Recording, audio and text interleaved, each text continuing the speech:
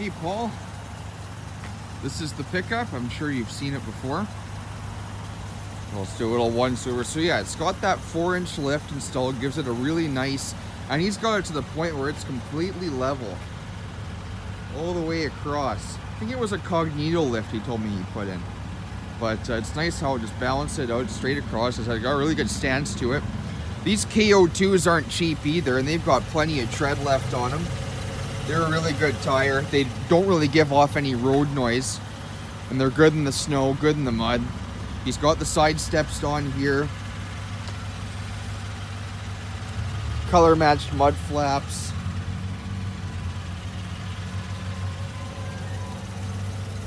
He's got the, uh, he told me he did an HID conversion on here. So these are HID.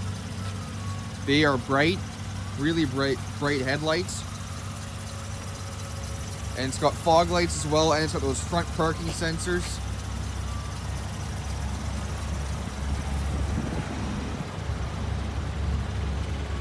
Rain guards around the windows. And I mean you can tell this truck's immaculate. It looks like it you know it would have half the kilometers on it that it actually does. And it was all highway driven. Really really good condition even up inside the fender wells here can tell it's it hasn't really been driven in you know through gravel or anything like that. With nice rims on it.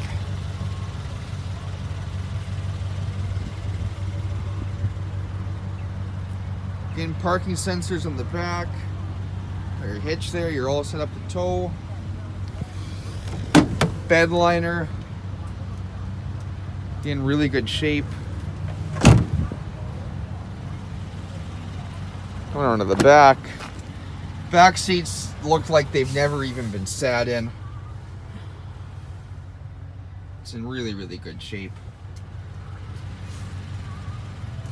Floor mats.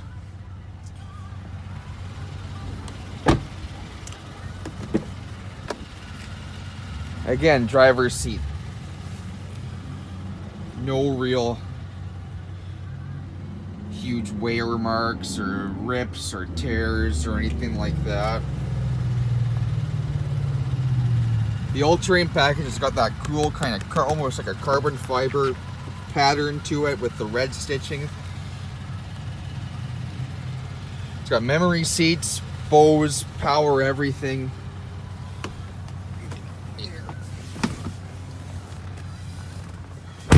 Heated steering wheel like I said, the only thing this truck doesn't really have is the sunroof. Um, other than that, you're good to go. It's loaded. Oh, and navigation. It doesn't have navigation. Dual zone climate control, so you and your passenger can each, you know, each have your own temperature setting. Parking sensors, it's got hill descent mode being an all-terrain, uh, power adjustable pedals, it's got Bluetooth, CD player, and it's uh, it's ready to go. So come on down and take a look and take it for a ride. See you soon.